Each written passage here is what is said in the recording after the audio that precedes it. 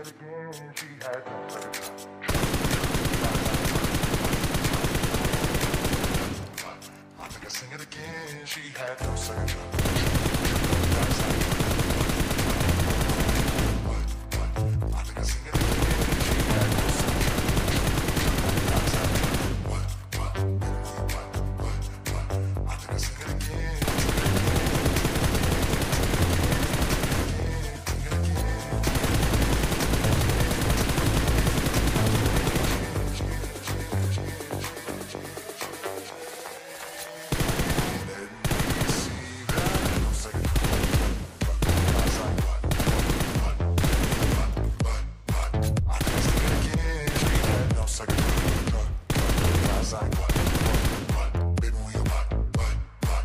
cause in the cage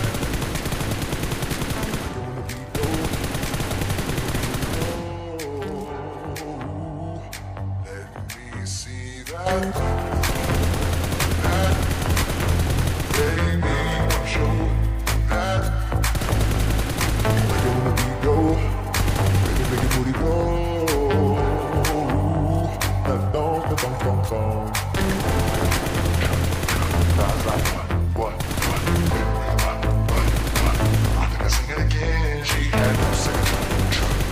Thighs like what, what, what, what, what.